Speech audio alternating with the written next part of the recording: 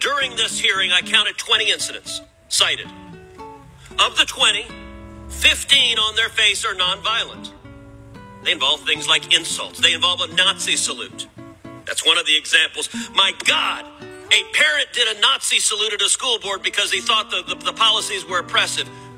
General Garland is doing a Nazi salute at an elected official. Is that protected by the First Amendment? Yes, it is. Okay, I did a quick